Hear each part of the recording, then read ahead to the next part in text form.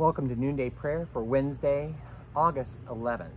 And this is the feast of Clare of Assisi. She was the abbess at Assisi, 12, who died in 1253. Our uh, Noonday Prayer service starts on page 103 in the Book of Common Prayer. O God, make speed to save us. O Lord, make haste to help us. Glory to the Father, to the Son, and to the Holy Spirit, as it was in the beginning, is now, and will be forever. Amen. Alleluia. Psalm 119. Your word is a lantern to my feet and a light upon my path.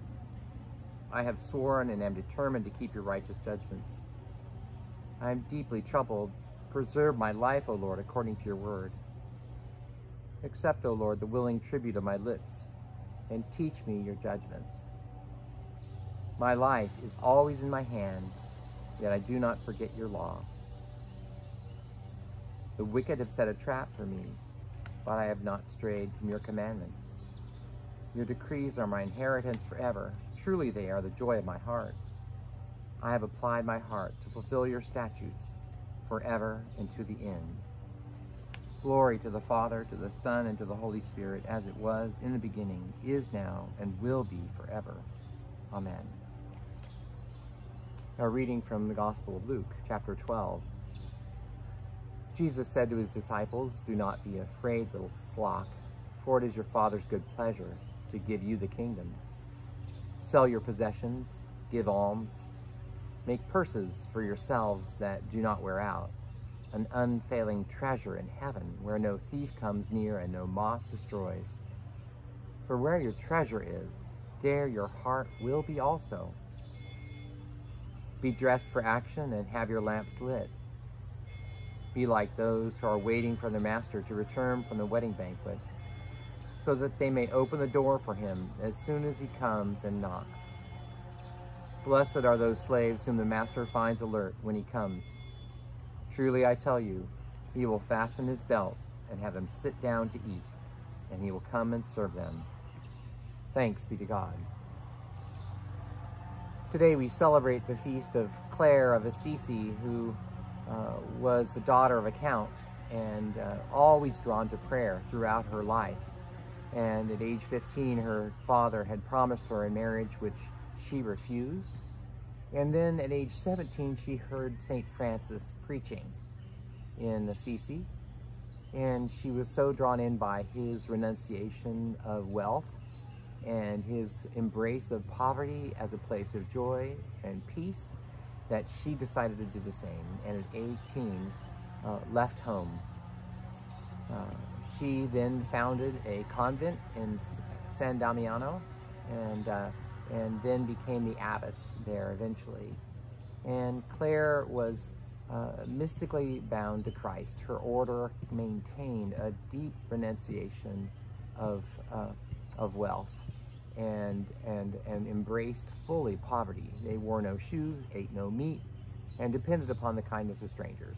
And they, and they uh, rarely spoke. It was a order of contemplation, of prayer, and of dependence and uh, and Clare lived her life, and her writings are remarkable in their sense of union and unity with with God uh, in so many ways. Today's meditation focuses on her final sentences for the end of her life, where she uh, comes, she has been ill for 27 years at the end of her life, and she struggled with poor health at the late end of her life. And, and, uh, and so, but at the end, she still says, her final words are, My Lord, I thank you for having made me. My Lord, I thank you for having created me. So today, I just invite you to hey, take some time and let that be a sentence of gratitude for you, for life, for this life. And please ignore the the mowers around me and the blowers and the disruptions of peace that come and find a deeper place of peace in your center as you engage with those distractions. Uh, My Lord, I thank you for having created me. Just invite you to say that on your heart as we take a brief minute to meditate on that. My God, I thank you for having created me. My God, I thank you for having created me. Just invite you to turn over to God everything about your life where you find yourself not being able to say thank you. Instead, turn it around. Give it back. Open it up. Dare to claim all of your life as gift. The challenges, the points where you feel you can't go on, the places of deep beauty, the points of great joy. Open your heart to it all. Stand back from it as you would with God and look upon it. And turn your heart back to the one who created you. That you are marvelously made, as Psalm 131 says. You are marvelously made. Excuse me, Psalm 139. I thank you, Lord, for having created me. Thank you because I am marvelously made. Take that wonder, that thanksgiving, into your center. Open your heart to the mystery of it all. Who are you really? Who are those around you? How were we made? What a wonder we are.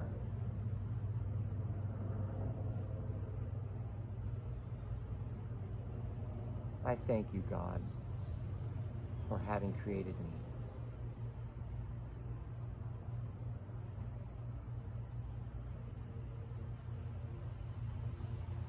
Let that be a prayer on your heart today.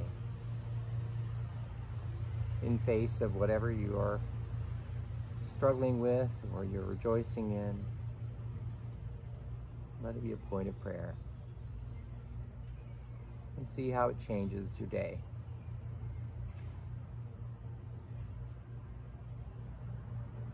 I thank you, God, for having created me. Carry it with you. And you'll need nothing. Amen. Lord, have mercy. Christ, have mercy. Lord, have mercy. Our Father in heaven, hallowed be your name. Your kingdom come, your will be done, on earth as in heaven. Give us today our daily bread. Forgive us our sins as we forgive those who sin against us. Save us from the time of trial and deliver us from evil. Lord, hear our prayer and let our cry come to you.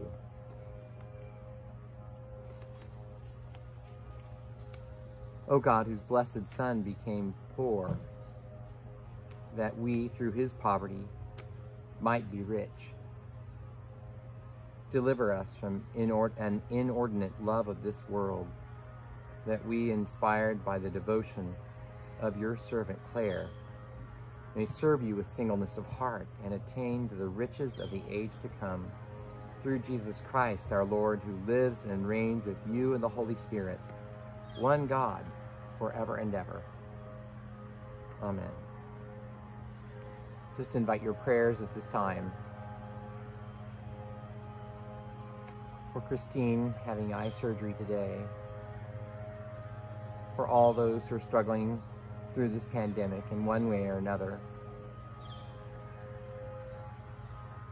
for turning our challenges into points of, of prayers of still of thanksgiving in some way that open us up to possibility.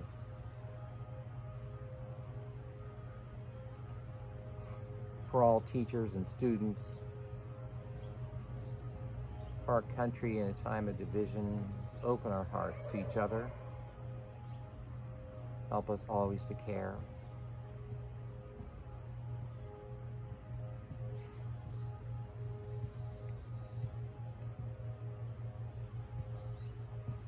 We pray for our planet and our dependence on fossil fuels as a primary driver for the warming that is going on and the dangerous fragility of our planet at this time.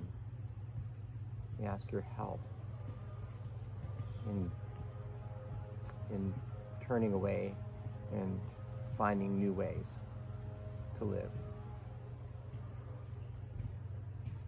Give thanks to the life of Frank Gamboa, who was celebrated this week.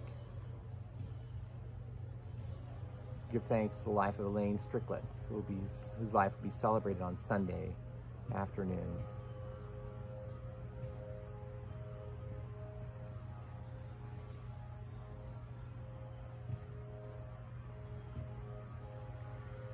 Let us bless the Lord.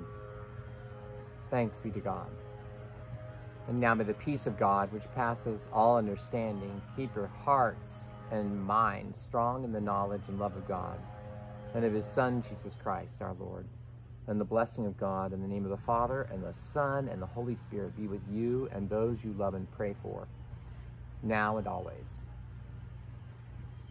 Amen.